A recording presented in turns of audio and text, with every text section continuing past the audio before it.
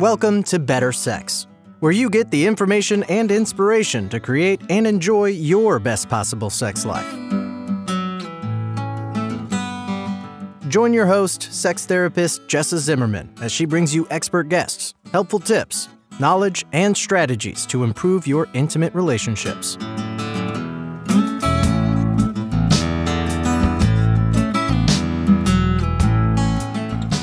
And now, your host, Jessa Zimmerman.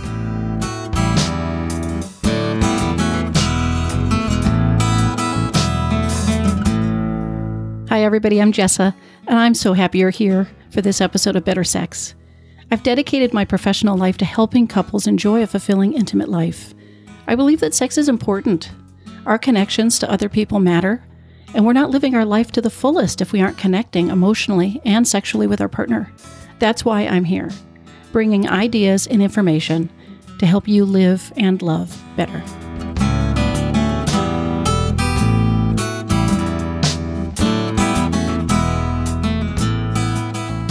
So, why is today's show about sex therapy? Well, because I'm a certified sex therapist, and I know that a lot of people listening don't know what that means. There is confusion about what sex therapy is at all, and then there's certainly confusion or lack of knowledge about what it takes to become certified as a sex therapist. As you're going to hear in the interview today, calling yourself a sex therapist is not a controlled term except in the state of Florida. So anybody can say they're a sex therapist. And there's a huge difference between the people with the training and experience and knowledge who've gotten certified as a sex therapist, and then the rest of the people that you have no idea what kind of training or education or experience that they've had.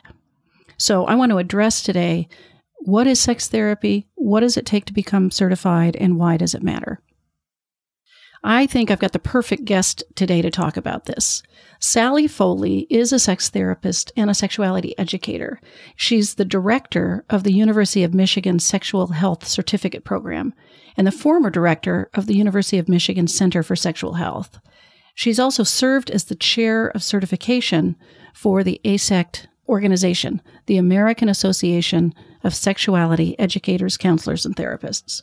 She's got a private practice in Ann Arbor, Michigan, and she has written chapters and articles about the treatment of sexual difficulties, and then co authored the book Sex Matters for Women A Complete Guide to Taking Care of Your Sexual Self.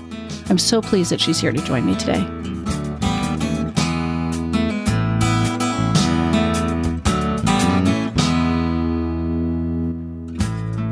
So, Sallie, thank you so much for being here with me today.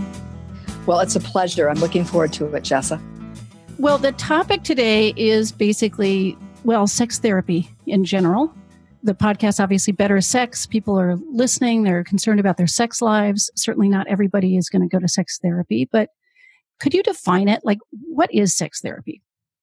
Great question. And I think there's a lot of misconceptions uh, about what it is. So let me start by saying that sex therapy is a subset of mental health counseling. It is almost uniformly offered in outpatient settings. So in private practice offices, in clinics, outpatient clinics. And people begin the route to becoming a sex therapist by getting a mental health degree, a master's or a PhD in psychology and counseling and social work, an MD in psychiatry, um, a nurse psychiatric nurse practitioner. So anything that holds a mental health license, you start with that, and then this person goes on to further postgraduate train quite a few hours actually to become proficient in talking about the biopsychosocial necessities of understanding sexual health and sexual problems. So a sex therapist is somebody who is a mental health professional. They never take off their clothes. They never touch their clients. I mean, perhaps to shake hands to say hello, but right, right. no touch involved. They sit in an office where they talk to people and then they suggest perhaps things people can do at home, like reading or practicing an assignment together with their partner. But they also talk to people in problem solving, as in, you know, what are the hurts or the disappointments or the losses or the conflicts behind the reason for the sexual problem. And so they do a lot of what we think of as traditional counseling and problem solving, but they do it in the area of sexual health, which is not something that all people have gotten trained in and are comfortable talking to clients about. Okay. And so you sort of alluded to sort of what sex therapy is not, but do you want to do you want to be a little mm-hmm. bit more specific about the kinds of things that it isn't? Yeah, and how explicit can I be, Jessa, on a oh, podcast go ahead. with We're, you? I've got an explicit rating of the show, so okay, great. So um, the reason I ask that is because to really talk about sexual health, we have to talk about people's bodies and their physiologic functioning. So things that sometimes are confused with sex therapists is sex education. And sex education, sexuality educators are people who are trained and know how to develop curriculum and provide information about sexual health and sexual problems to groups, maybe small groups or larger groups of all ages, from children all the way through much older age. And so knowing one's audience also, is part of a sexuality educator. And other things it gets confused with are sexuality counselors. And sexuality counselors, the majority of counselors are health professionals. And this might be an MD, a nurse, a physician assistant. It will be someone whose scope of practice includes taking care of a person's overall general health. And it might be an OB-GYN doc, might be a nurse midwife. And in their scope of practice, as we all know, medical health professionals touch bodies like a physical therapist, again, another health professional. And then these people go on for training past what they're getting in med school or nursing grad school or a doctor of physical therapy. They go on to gain credentialing in sexuality counseling. So they are providing counseling, advice, direction right along with their patient care. And then the last area that gets confused, and I would basically suggest this is the area that most often, interestingly, gets confused. And you're smiling, I can tell. I, th- I think uh, I know where you're going. yeah, yeah. Is sex surrogacy. Yeah. So a sex surrogate is a person who has been trained to provide teaching to an individual about sexual response, sexual interaction, sexual performance, and to touch and be naked with and engage in sexual activity with the client. And the only place in the United States that sex surrogacy is actually legal, I believe, is California. And who are the people who would use this?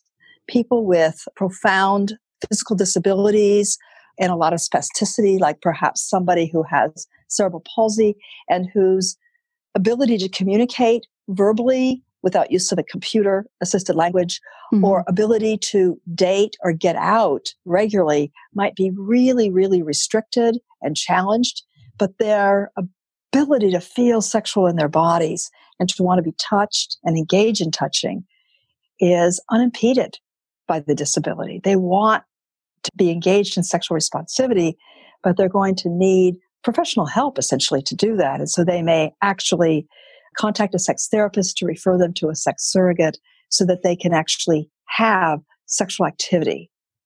Right. So while sex surrogacy might be, you might even consider it therapeutic in certain ways, it is mm-hmm. distinct mm-hmm. from sex therapy, which is purely talk therapy about sex. Right, exactly. Yeah. There's another uh, category which is not as controlled in terms of professionalism and training as, say, sexual counseling, sex educator, and sex therapist, and that's called sex coaching.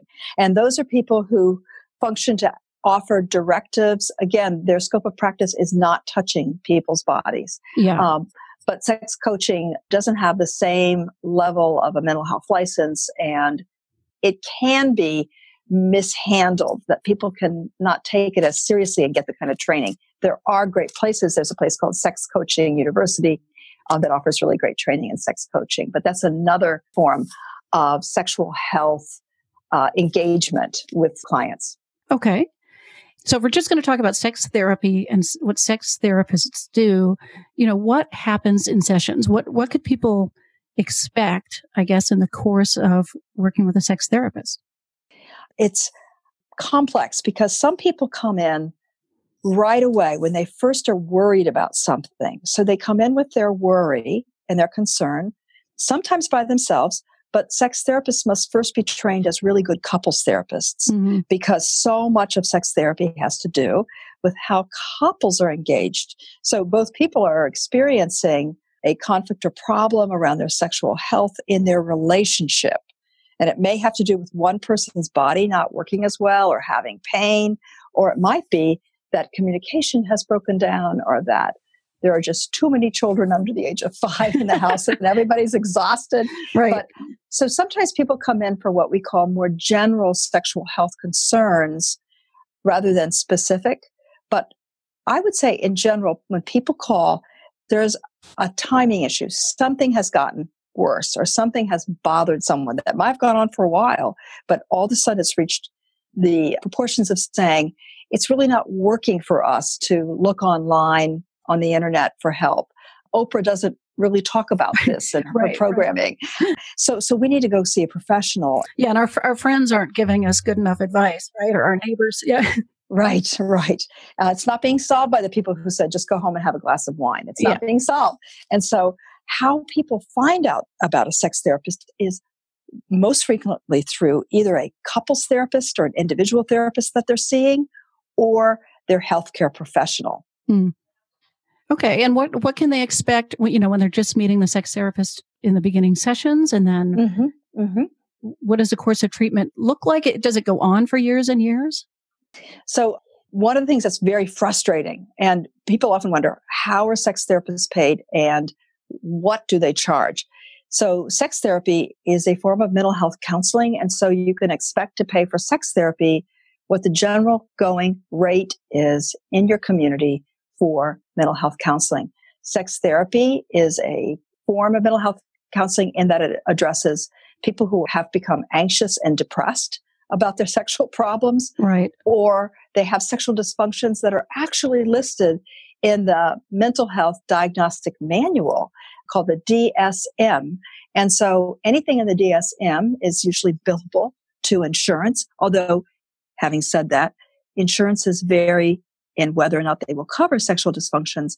But many times a sex therapist finds that along with the sexual dysfunction, he or she is also treating concomitant depression or anxiety. And so will bill for that instead. So some sex therapists don't take insurance. They're in private practice and you pay out of pocket. Some have sliding scales. So when you are calling for an appointment, you can say, do you take insurance?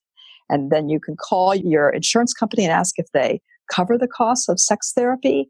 And if they don't take insurance, what is the fee? The next question often is, how long will it take? Right, right. And I so wish that we had some way of definitively saying this. Like if you are sick with some sort of a bronchitis and they put you on one of those heavy duty antibiotics, that you will be taking that X number of days and you will drink a lot of water and you will try to sleep a lot and you will get better. Right. And you'll, you'll be feeling better in five to 10 days or whatever it is. Yeah. Mm-hmm, mm-hmm. So, since we tend to formulate problems as solvable in segments of time, it's a very normal question to ask. And I would distrust any sex therapist you talk to on the phone who tells you, oh, it's only going to take a session or two. Yeah. That's simply not within the frame of reference the therapist has until they've gotten to know you, understand your problem, understand how entrenched is your problem, how much time do you have to work on your problem, are you flexible, have you resiliency, how have you solved other problems. I once had a couple who came in and said, when we first got together, we were in our 20s and we had perfect simultaneous orgasms during penetrative sex, especially during intercourse. Now we're in our late 50s and things have changed. And my orgasm, this is, this is a heterosexual couple. The guy said, my orgasm was always triggered by her orgasm. And she said, penetrative sex doesn't do it for me anymore. My vagina feels more tender and not as lubricated. And sometimes it's painful. And I'd much rather have other forms of sex, sexual pleasuring like fingers and vibrators and oral sex. Um, and I saw am orgasmic, And then he said, Yeah, but it doesn't trigger my orgasm. Yeah. Yeah. And the only thing the couple wanted from sex therapy was to get what they had when they were in their 20s. Mm. So when a couple say that, a sex therapist's first job is to help them with grief and loss. Right. Right. And so a sex therapist should say to people calling, here's how we will determine the problem. If you're an individual coming in, I can tell you it'll take at least three sessions for me to get the lay of the land in terms of why you're coming now, what the problem is, a number of things about how and what you learned about sex and what you want and what sex means to you in your life. And for a couple, I'll need to say to them, the first time we'll meet together, then I'll see each of you alone at least once and then back together. At which point, at that session, the fourth session, we'll formulate a kind of a working plan. But it may be that I'll need to see one of you or the other of you at times alone. And we need to meet regularly. We need to meet, if possible, weekly.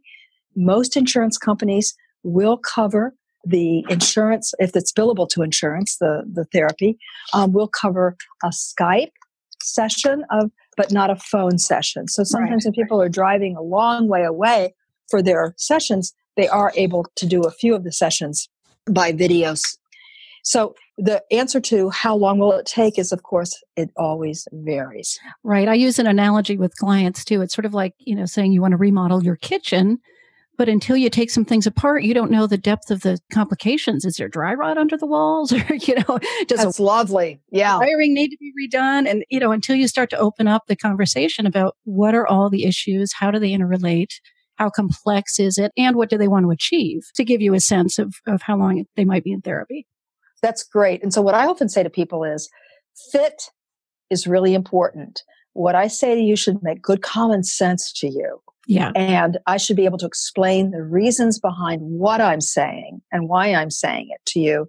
And my job in our first meetings is to say to myself, do I have the requisite training and skill set for the particular problems they're presenting? And if not, who in my electronic phone Rolodex does? And I say to them, you all need to be thinking, are we comfortable with her? Can we talk to her?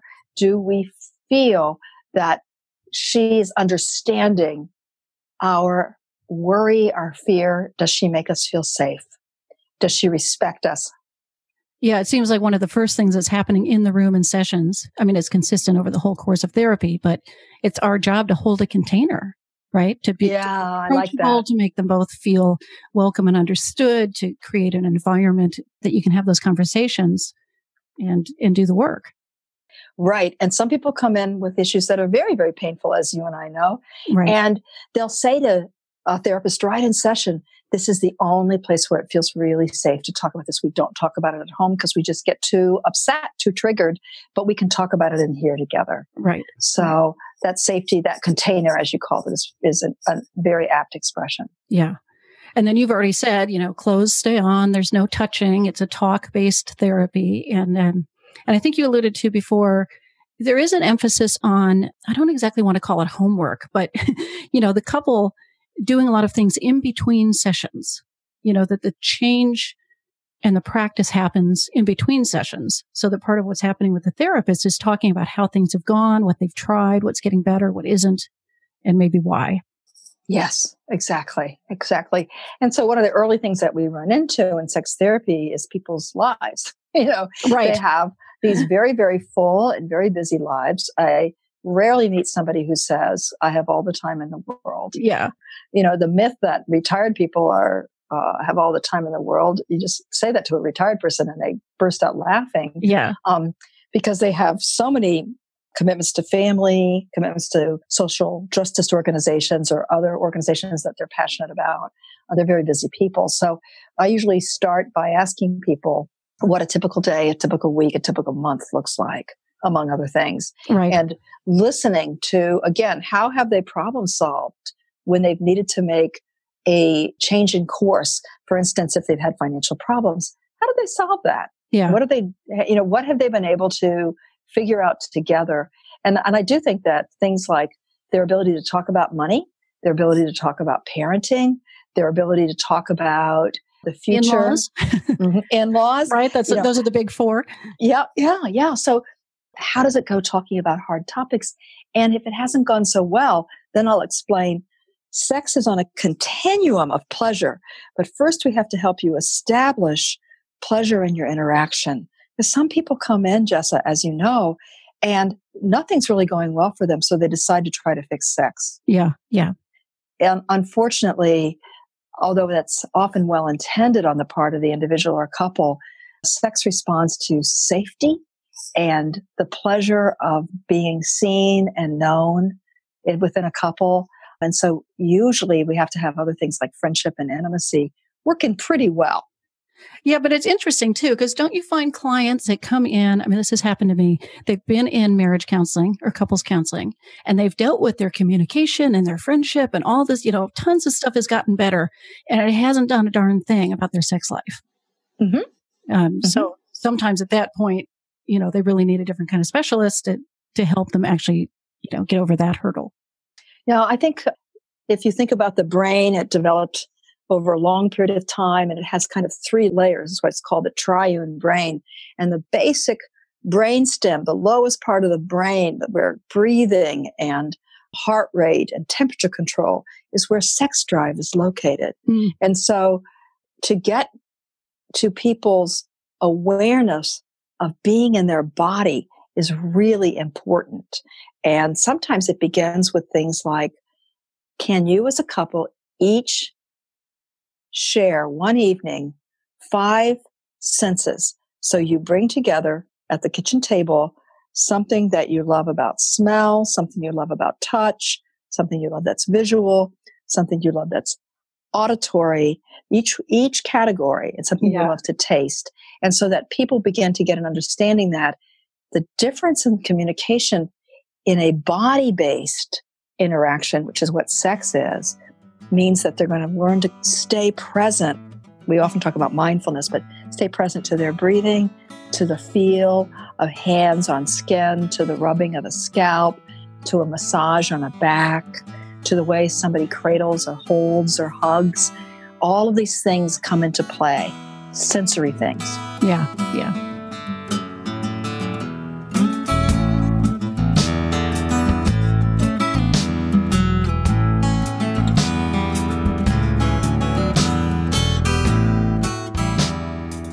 Hey, just taking a quick break in the show, but I'll be back with the rest of the episode in just a minute.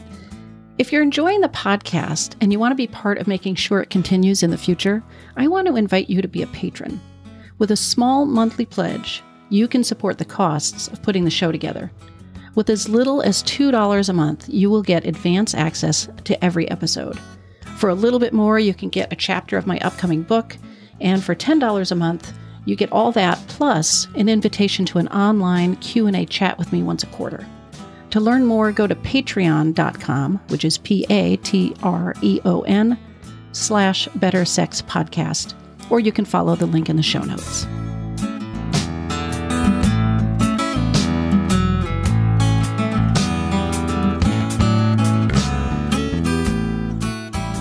You've named a couple of things already, but what kinds of issues? I mean, it's a broad range, right? But what kinds mm-hmm. of issues does a sex therapist address?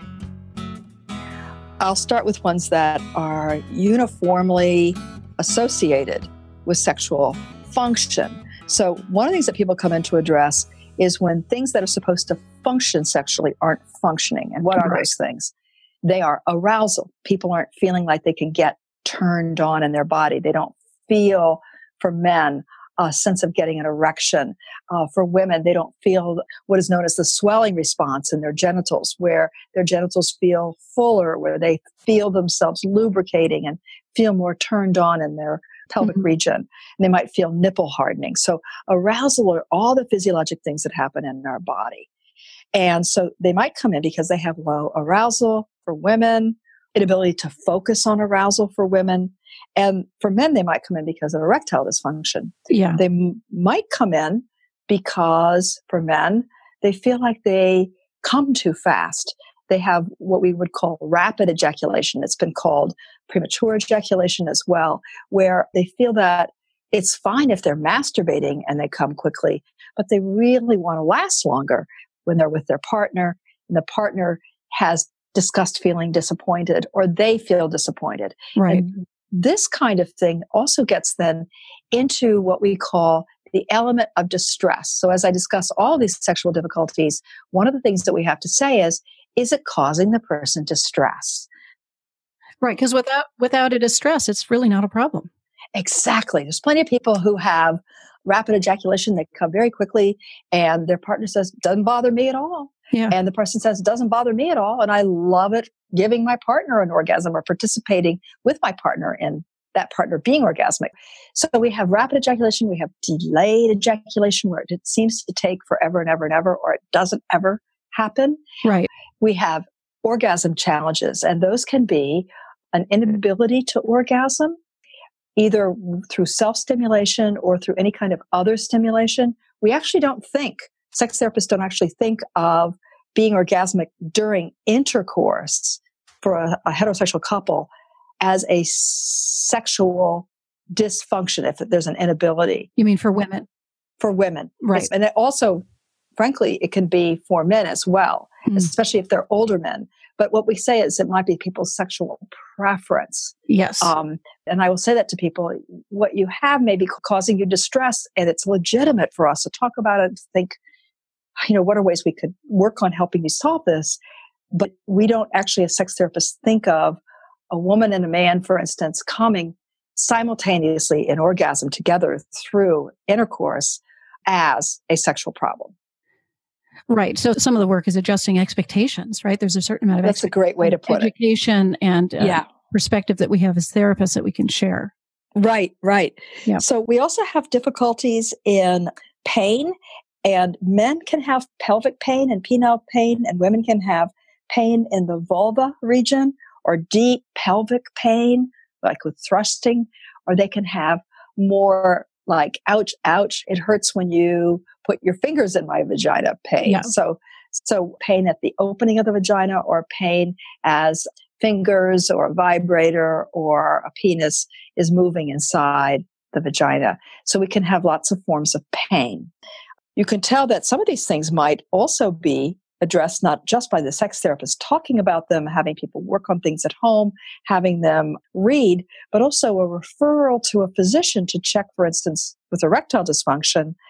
Is anything else going on for this person? How's their thyroid working? Do they have diabetes? Is there something else that's going on that could be affecting erectile function? And for all forms of pain, there's often a referral for physical therapy because so many forms of pain can be addressed and potentially greatly alleviated, if not completely alleviated, through physical therapy. So right. it's Right. collaborative. So other things are what we often call a desire discrepancy. And Mhm. desire discrepancy means that people's interest in being sexual with each other is different one from another, such that it's become a conflict or a problem in the relationship. And what we often say as sex therapists is all couples have desire discrepancy. There's no two human beings in the whole world that exactly want sex at exactly the same times all the Right. Right. all the time.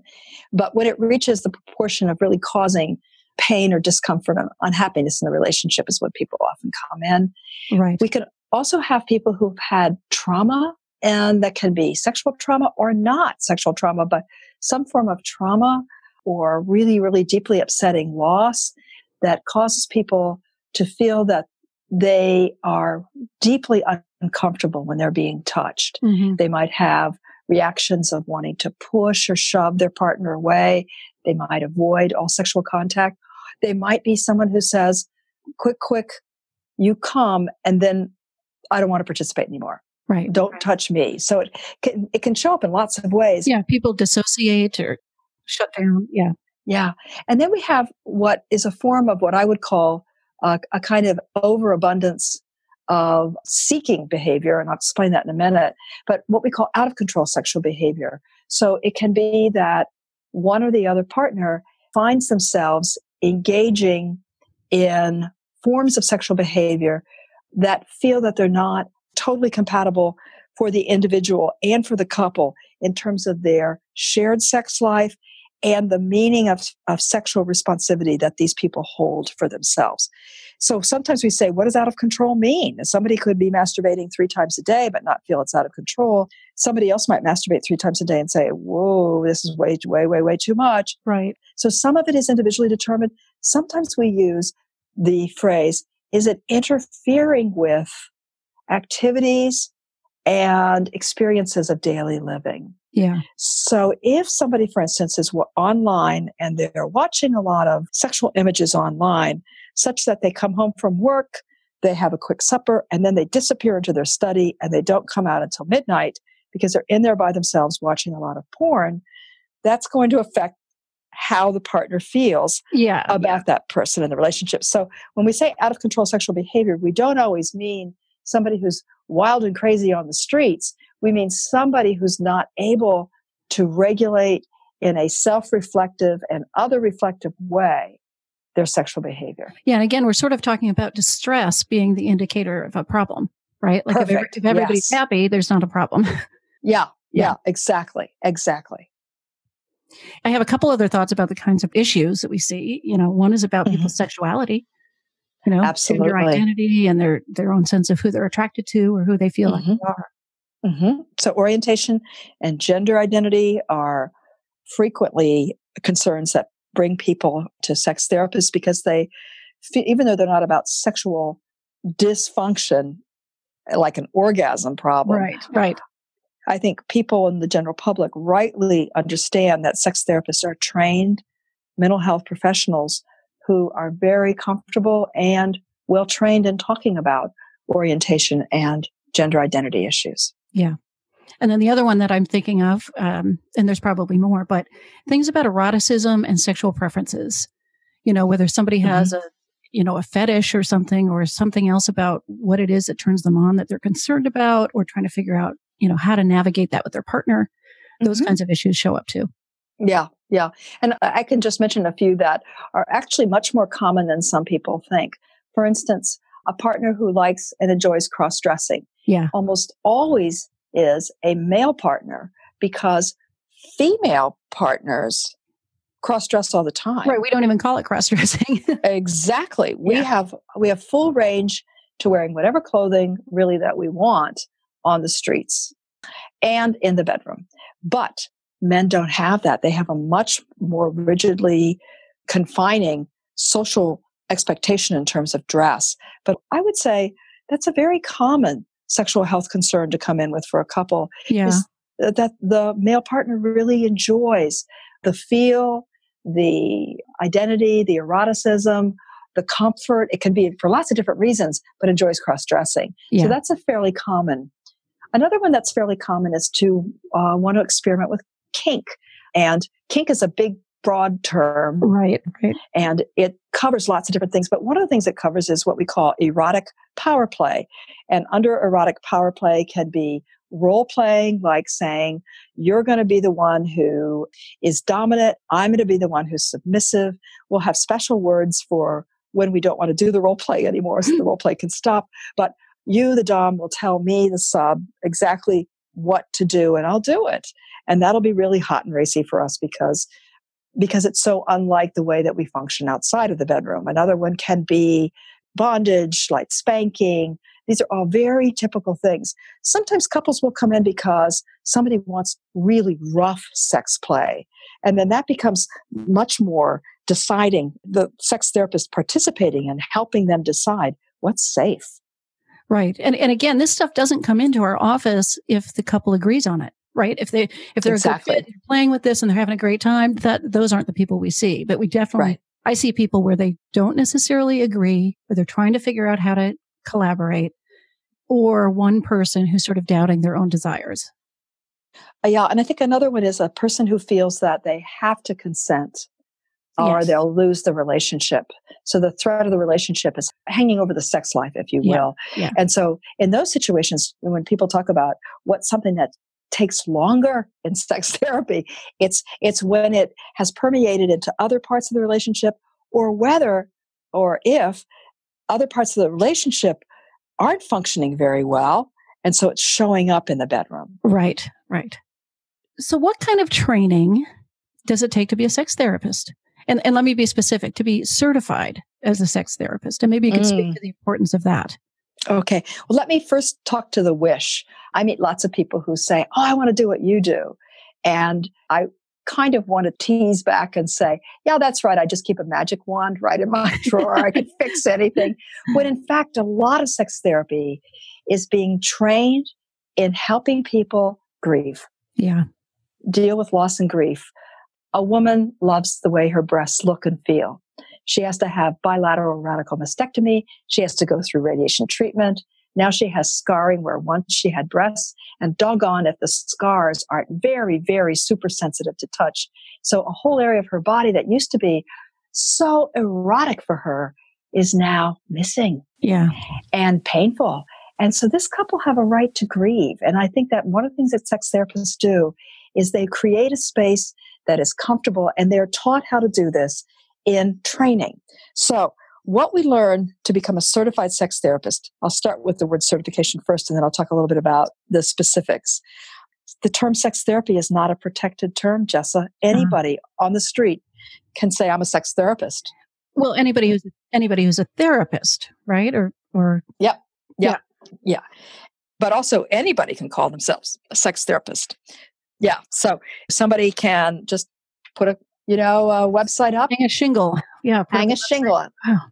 So um, what we are looking for then is some sort of standards.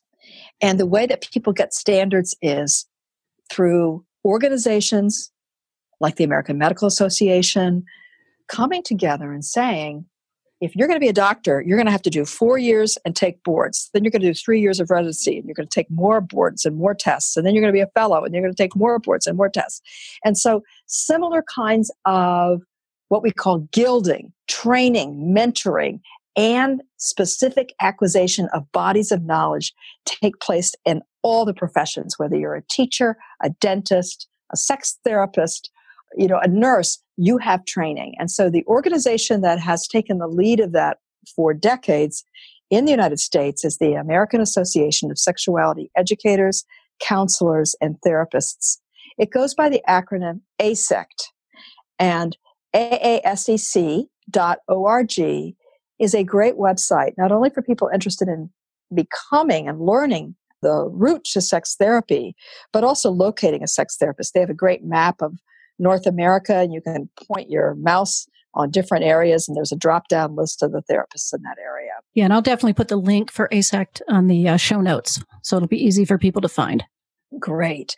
And so, what happens is a person most frequently, if they're in college or high school and they see a program where there's a sex therapist or they meet a sex therapist who's lecturing in a class, they'll say, How do I become one? And then they'll go to the AASECT website and they'll see that there are a number of different institutes and training opportunities to meet the requirements that AASECT has decided are required in order to become certified as a sex therapist. And those include 90 hours of sex education and very specific topics, 60 hours of very specific sex therapy training, an experience called a SAR, sexual attitude reassessment, and it's to really look at values, ethics, how you approach people. So I think if I've added that up, you're talking about 160 plus hours of very specific training. Yeah, yeah. And um, then you add to that supervision, and people get supervised in having a caseload of clients who all have sexual difficulties. And they find those people through referrals from their colleagues who happen to be friendly with them and, and know how good their work is and want to refer to them. And they find them through their websites or their Psych Today. PSYCH Today is a yeah. classified ad that a lot of people participate in who are mental health professionals. Right. Um, and so they train first as a good therapist and then they let their colleagues know that they're available to practice sex therapy. They have a supervisor who's guiding them through. They've taken this plethora of education and then the whole thing gets pulled together in a mentoring way with the therapist supervisor who has supervised their 300 hours of clinical work and submitted to AASECT, who reviews it down to crossing every T and dotting every I. And then they're either certified immediately or people often are told you still need to get more hours of this or that or something else. But people don't get too far down the road of this and go astray. It's not like you could get all the way to the end of the process and be denied certification. There's too yeah, many people yeah. who have their eyeballs on you. Right, right. But it, it, you know, it does sound like, boy, this this student in high school who's intrigued by this career, you know, and I've gotten mm-hmm. these kinds of calls from people. It's a sort of a wake up that not only do you have to get through college, you've got to go through grad school. You know, right. you've got to go through everything it takes to be licensed as a therapist and add right. on top of that the extensive training to be a sex therapist. And and that's why there are statistically for the country, there are fewer of them because of the intensity of the training.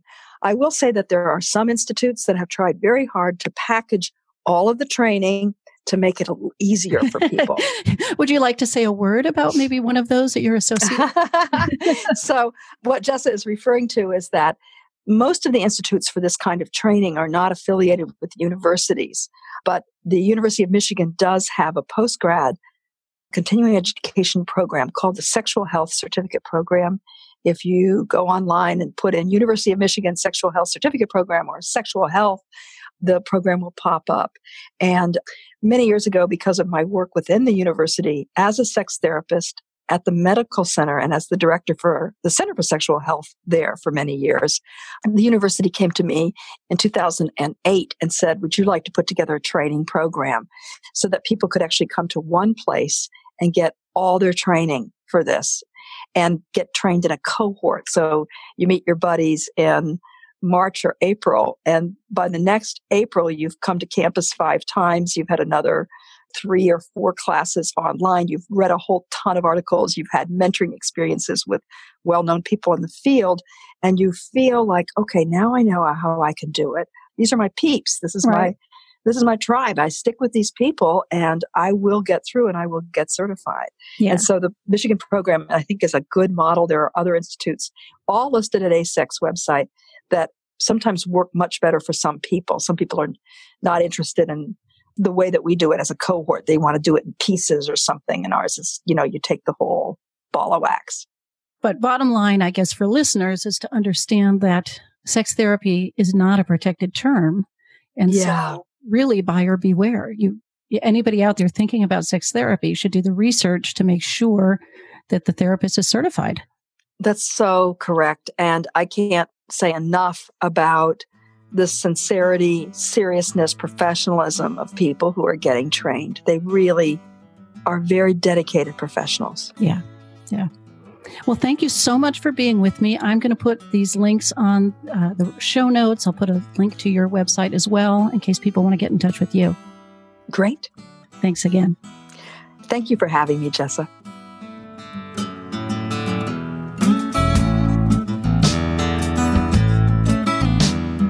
You've been listening to Better Sex.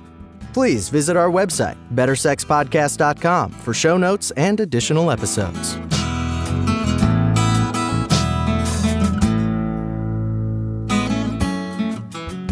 Thank you so much for listening. I hope you enjoyed the show.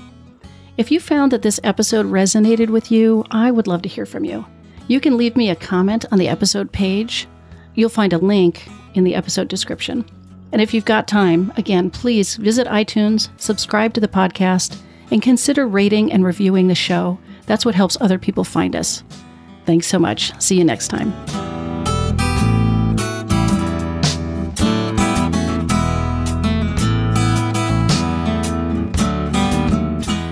Our theme music has been composed, recorded, and provided by Rick Ruskin, courtesy of Lion Dog Music.